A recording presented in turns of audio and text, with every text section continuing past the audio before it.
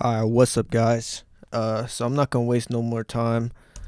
We're gonna do basically my mixing and mastering vocal chain. I'm gonna play the song for you so you can see it, get a feeling what it sounds like. And this is radio quality.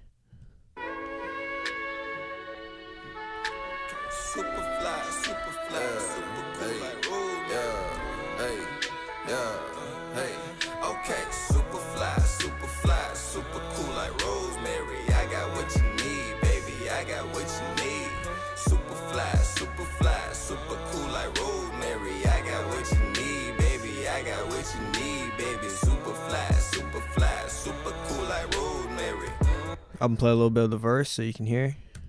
She love herself the court. Charlie smooth, she got a setup. She rocking herself right. While rocking that off white. Yeah, baby, just my type. Charlie cooler than a fan. Little baby be all hype. We higher than most heights. She down to catch all flights. Charlie smooth, she got a setup. She rocking. Alright, you get the picture. Uh sounds pretty good. So first thing I did before recording, uh that's most important. By the way, the mic I used for this recording was Neumann TLM 103, uh, interface Apollo Twin X Duo, uh, Thunderbolt. So Thunderbolt 3. This is so first thing I do before recording. This is just a beat that uh, he probably purchased off YouTube. Artist is uh, Groovy Main, uh, and I'll put a link to the song uh, or his profile in the description. So first thing I do is I turn the beat down around 10 dB, and you'll see if I solo this.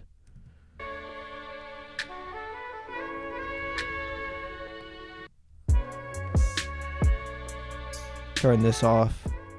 Turn the mastering off. So your average, you want your average mix volume before recording to be or me before mixing probably around negative 10 so i turn the beat down negative 10 db usually before i start recording vocals and then it just helps so much with your mixing with leveling later on and your average volume is perfect for mastering.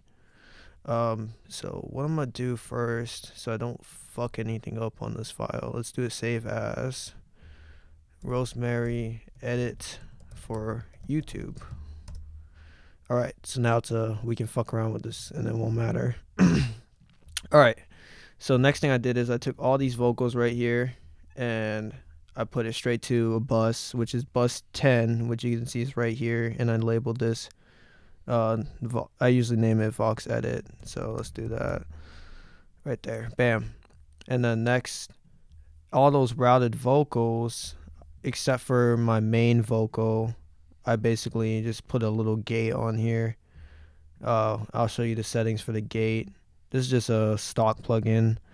I just kept the only knob I adjusted is this threshold down to negative 70. Default is negative 50. So, and that's all I did for that. Um, so let's go ahead and we're gonna start off with everything off. So I'm gonna go turn everything off here. I'm gonna make this a fast video. Uh, we'll keep the gate on because all that's doing is just preventing noises from a certain dB level from getting into the mix. And so those are just on the background vocals, so we'll just keep it on. So let's hear it raw. There's nothing on it.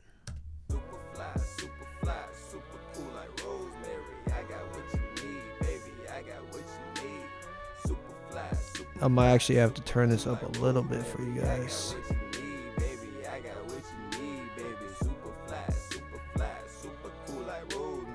So it doesn't sound bad. Vocals sound pretty good. So that's completely raw right there.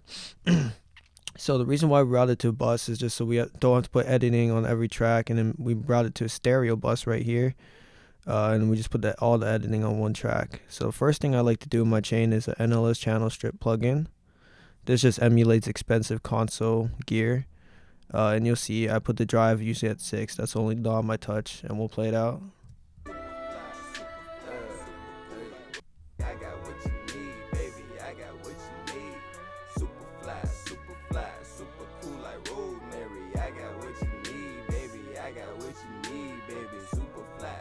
You before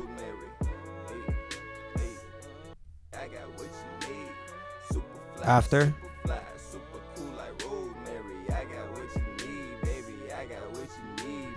So it just adds a little bit flavor, a little bit character to the mix. Next thing I do is put a pitch correction plugin. Um, this mix is in A minor. If you don't know how to do that, you can download this plugin key or this application key finder. Just drag your beat in there. It'll tell you the it's free and it'll tell you the key right away.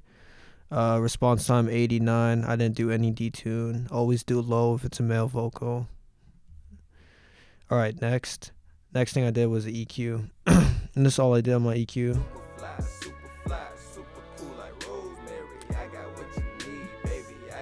We just roll off around 88 hertz on this mix. I usually do around 100 hertz, 88 hertz, 60 to 100 hertz, depends. Before, after.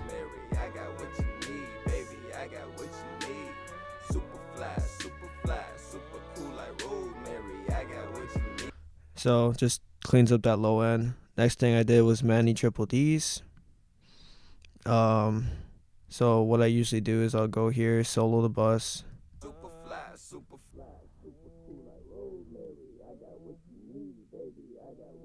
I'll take this.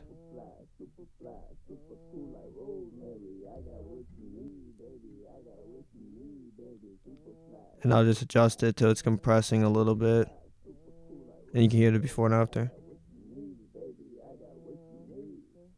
So we're probably cleaning up around that 250 hertz. Instead of using an EQ, we're just compressing that low end out of there instead.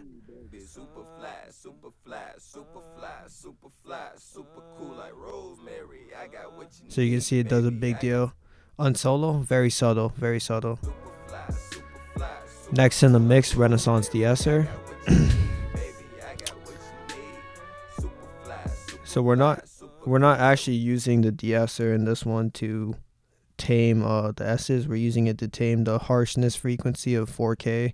4K is known as a pain frequency, and we're just doing like attenuation to that frequency.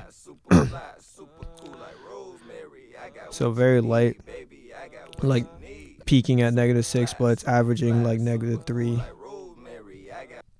attenuation, so that's good. And before and after, let's hear in the mix.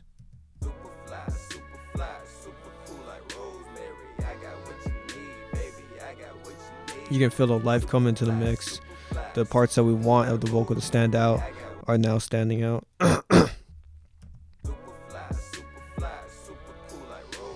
so now that we basically carved out the things that we don't like about the vocal using an EQ, compression, and uh, uh, more compression with the de-esser, we're gonna put some actual compressors on there to enhance the vocal.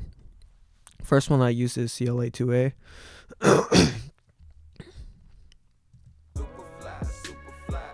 I did around negative 5 dB of compression. Uh, you adjust the peak reduction knob on the right here to determine the compression. And then you just adjust the gain to taste that you feel the volume is good in the mix. So I'll go ahead and show you that before and after.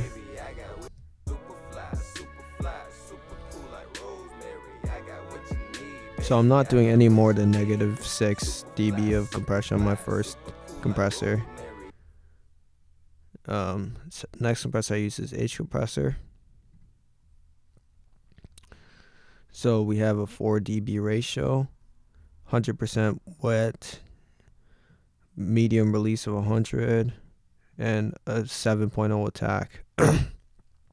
and we're doing probably like 2 dB of compression consistent and we kept the anal and we kept the analog on for this one.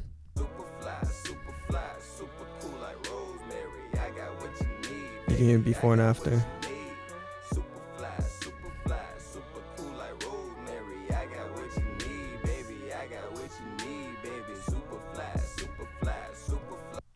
So you're you're trying to listen for the attitude to come out of the vocal. You'll notice the more that you drag this threshold back, the more attitude comes back in the voice. Uh, let's do that so I can show you.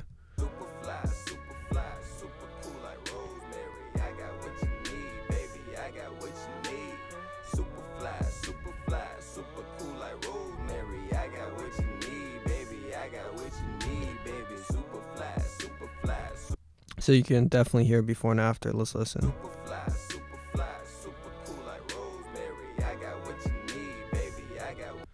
Okay. And then also on the output, I reduced this down 1 dB. I thought it was too loud. So sometimes perceivedness, perceived loudness will go up because it's a compressor. Next plugin I did was Puigtech EQ. and I'll turn this off for now. Uh, basically, what I did is I just rolled off 1.9 dB of 30 hertz, and I boosted. Well, I'm sorry, not 1.9, but setting setting 1.9 and setting 10 of 12k. This is not necessarily in dB. That's just setting 10 on this knob. So I'll show you what it does. So the real magic knob is right here and I ten- use the attenuation knob to kind of get an even or evener tone. So let's I'll drag this back for now so you can hear.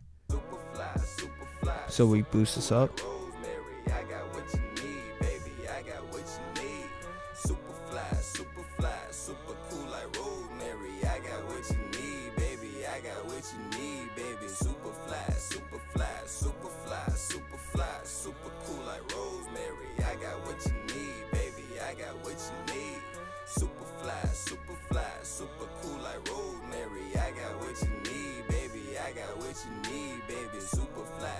So I think it sounds good there. And we just use this to reduce a little bit of the low end. So that's next. Obviously, big difference. Let's hear before and after. Super fly, super fly, super cool like rosemary. I got what you need, baby. I got what you need. Super fly, super fly, super cool like. So it just carves, it just changes the vocal up completely. Since we just boosted the highs dramatically, we now have to add a de-esser to tame those S's. So that's next in chain. So I just go here and I load up male S preset and I'll just drag this down.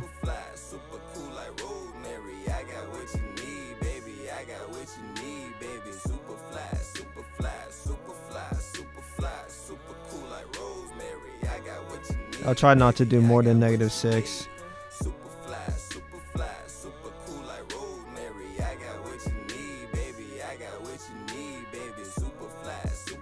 And you might come back later and you might adjust that more. So you never know, depending on how much the S's are being boosted. And last in the chain for directly on the track, I just put a Abbey Road Plate reverb.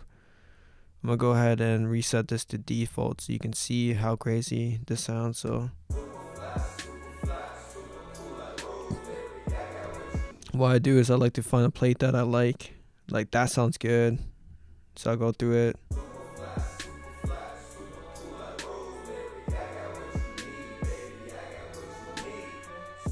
And then what I'll do is I'll put the pre-delay probably like 10 to 15. So I'll do 13 for this one. The formula to find the pre perfect pre-delay is 60,000 divided by the BPM of your song, then divided by 2 until you get a number within the 30 eh, to 15 to 30 ms range. But then we'll actually take this cool dry slash wet knob and blend it in with the vocal. So let's do that.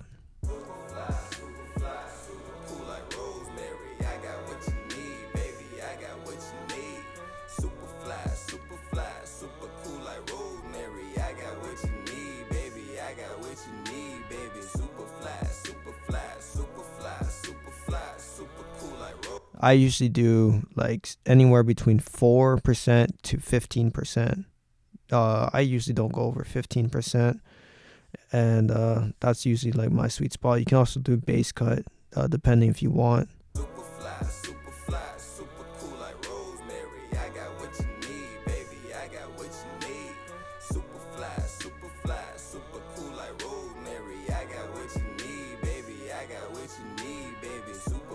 I don't. I like it better without no bass cut in it. Uh, but yeah, that's pretty much all I do. And then next thing we're gonna do is parallel compression.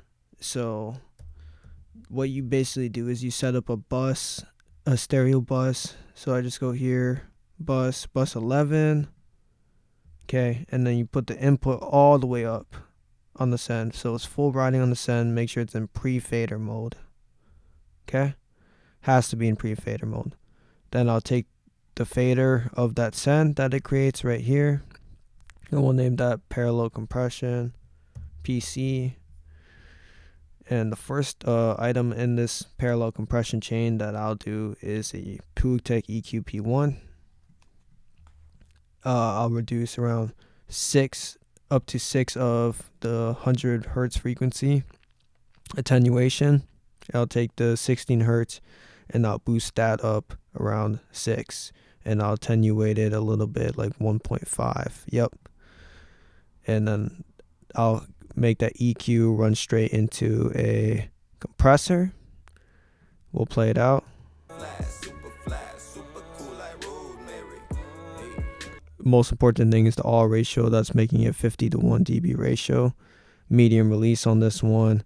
Uh, faster attack. 7 is the fastest setting on this uh, compressor. 1 is slowest. And then I'm doing quite a bit around negative 10 dB of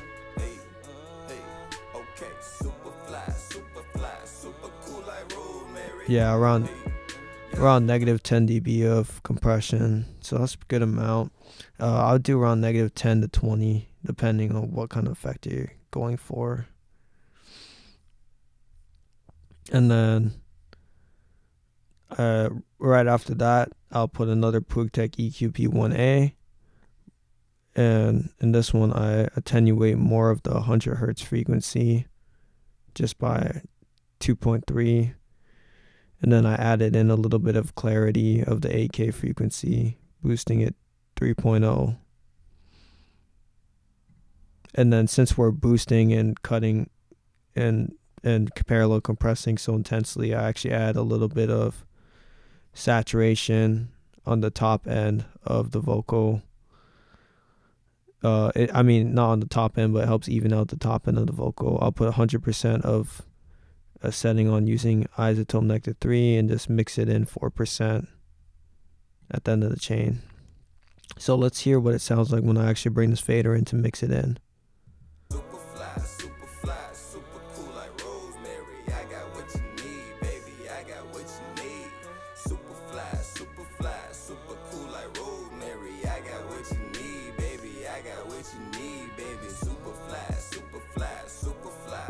You can see it it just made the vocal pop way more uh, just brought it out. It made it more present but not necessarily too much louder in volume. Let's hear it before and after.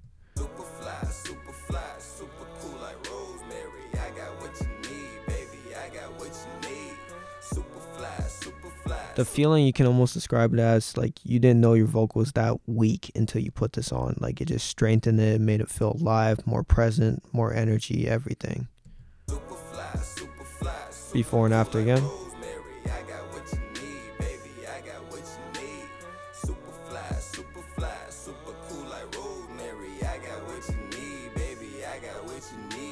All right, next, all I did on this next one, very simple, regular send, stereo send. I put on the H delay. All I did was go here, preset ping pong, and that's it.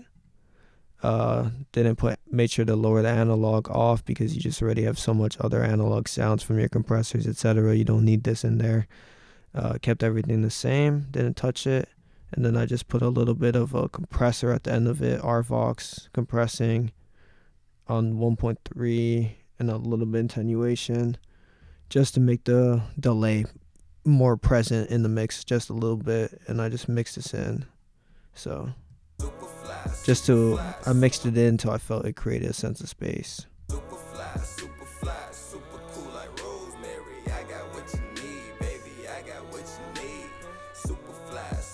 So that sounds good. Next plugin is very good. It's my go-to. I'd use this on every plugin. This is now starting in the mastering chain. I'm completely done with mix- mixing at this point. So I move on to mastering. First thing in the chain I use is Greg Wells Mixcentric. Very amazing plugin. oh, something happened. Sorry, my throat is extremely itchy. Apologize for that. but uh let's do a full reset. And I just use this preset called buckle in and we'll see how it sounds like.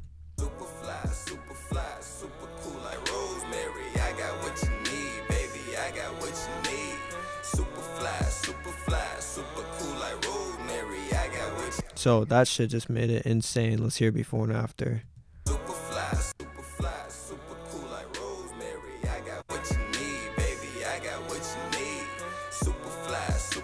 So there's so much things going on behind the scenes, but it just that just made it feel more alive. Did so much processing, but just by turning one knob.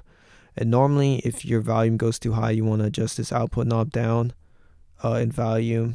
But in this case, we gained stage so well that our mix is not even clipping, so we don't really need to do that. Next in the chain I did was SSL compressor. So yeah, literally all I do with this guy, I'll show you. Oops. So I'll just come here.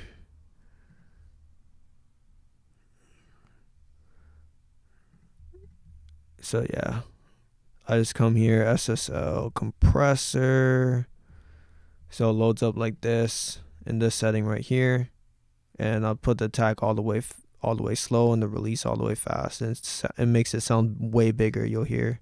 I do this on every mix, at a four ratio usually.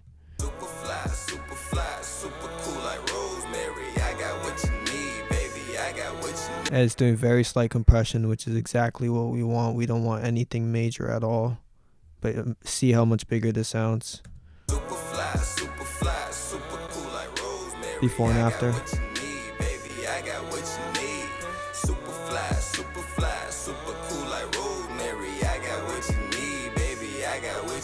You can hear the energy, lots more movement coming in that you didn't even know wasn't there. Very good compressor.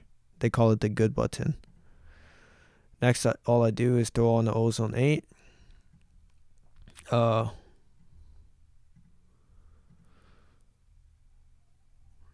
first thing I'll do is I'll actually just run the mastering assistant. But let me just save this as a preset so I have it.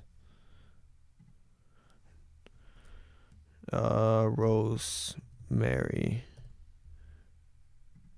That way we know. Okay. So yeah, first thing I'll do is I'll just run the mastering assistant. Super fly, super fly, Make sure to run the rap mastering assistant on the loudest part of your track. super fly,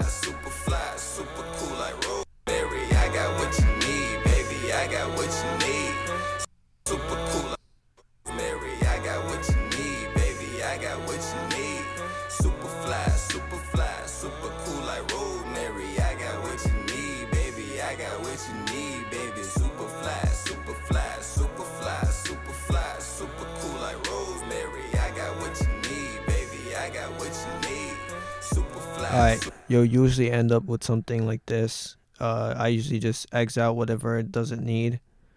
So one, you'll usually end up with three modules like this, and I'll show you what you are gonna add to those three modules. So these are the three modules. Or I mean, we took out one obviously, but or these are the three modules that you end up with: maximizer, dynamic EQ, and equalizer. Um. So what you're gonna do first off is add an imager to the front. I usually spread out these. I start off with this band right here, and I usually just drag this down till it feels wide enough. So let's see here. We'll put that on.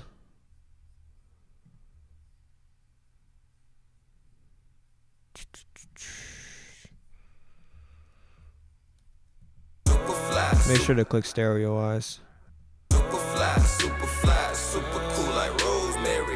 So you're listening for the low end to become more present.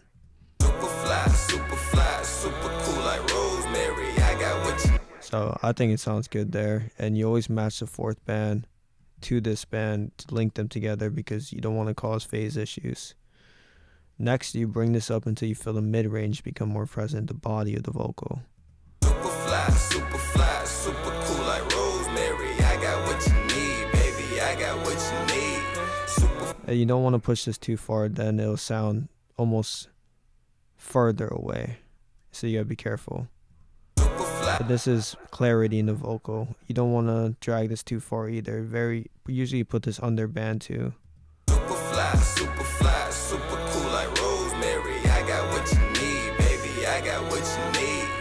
So I like that balance between all of them. Next thing I do is I'll add a vintage EQ and I'll literally just go here and I'll just go to the preset general enhancement. And in this case, all I did was I raised this up 0.5 to 3.5. So let's listen. Super fly, super fly, super cool like rosemary. Need, baby. Super fly. Super So it just makes it more crisp, more tighter, more cleaner. Next, I came to vintage tape.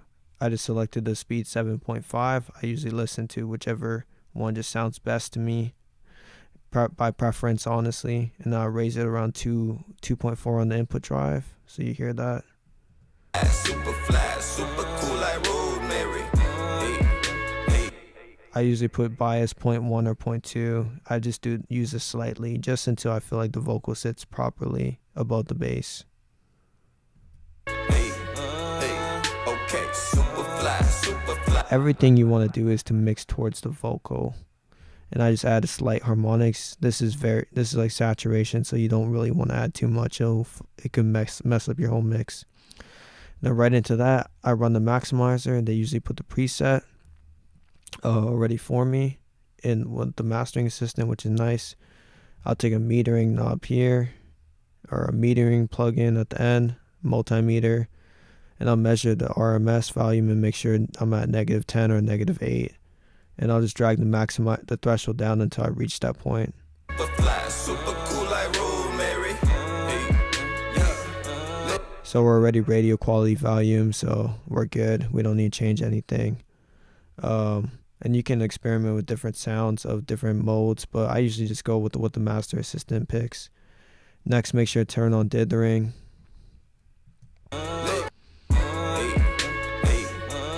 You can filter DC offset by clicking this filter button.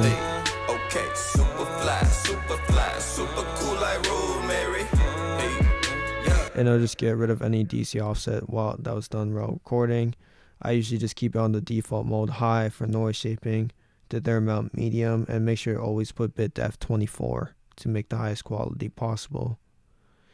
Uh, but that's it for the mastering.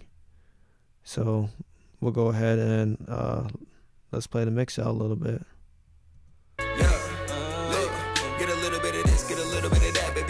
Tell me what you need. I've been trying to catch your speed. Slow it down, let's smoke this weed. Know you know you busy, girl, but let me intervene. Got it popping in those jeans.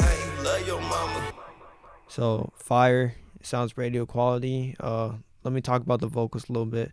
Punches, just emphasizing the last sentences of each word. I'd make them do the two takes of those, and I pan it hard left and right. All this gets routed to the same vocal bus, and I'll mix the, the volume in.